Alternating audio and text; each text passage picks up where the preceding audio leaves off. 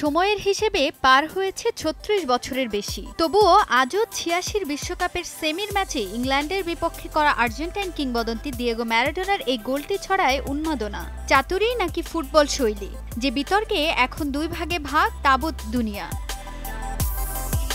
যদিও পরবর্তীতে সেই গোলটি আখ্যা পায় ঈশ্বরের গোল নামে। দু হাজার দুই সালে ফিফা জরিপে যা নির্বাচিত হয় শতাব্দীর সেরা গোল হিসেবে। এতদিন পরে আবারও আলোচনায় ছিয়াশি বিশ্বকাপের সেই ম্যাচ। তবে এবার আর গোলের জন্য নয়। আলোচনায় সেই ম্যাচে ম্যারাডোনার পরা জার্সিটি।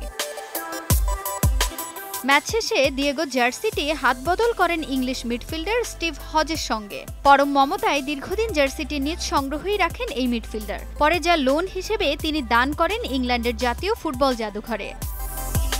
দু হাজার বিশ সালে ম্যারাডোনা মারা যাওয়ার পর থেকেই প্রতিষ্ঠানটি পরিকল্পনা করছিল জার্সিটি নিলামে ওঠানোর। তবে মেলেনি হজের অনুমতি। বর্তমানে স্পোর্টস স্মারকের নিলামের বাজার চড়া হওয়ায় এই মৌসুমেই জার্সিটি নিলামের মঞ্চে ওঠাতে চান স্টিভ হজ। জার্সিটির নিলামকারী সংস্থা সোথেভিসের ধারণা এর দাম উঠতে পারে ছয় মিলিয়ন পাউন্ডের বেশি। ইতোমধ্যে অনলাইনে একটি প্রতিষ্ঠান স্মারকটির মূল্য হাঁকিয়েছেন চার million pound.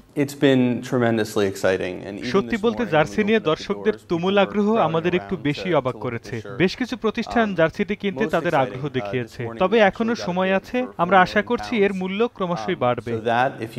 You know, add the buyer's premium. সোথেভিস সংশ্লিষ্টরা বলছেন জার্সিটি নিলাম মঞ্চে ওঠানোর আগে সঠিক যাচাই বাছাই করা হয়েছে। উনিশশো ছিয়াশি সালের ম্যাচের দুর্লভ ছবির সঙ্গে সাদৃশ্য খুঁজে গুণগত মান যাচাই করা হয়েছে। ম্যারাডোনার এই জার্সিটি ক্রীড়া দুনিয়ার গুরুত্বপূর্ণ স্মারকগুলোর মধ্যে একটি। আগামী মাসের চার তারিখ পর্যন্ত চলবে এই বিডিং। তাজিদ খন্দকার সময় সংবাদ।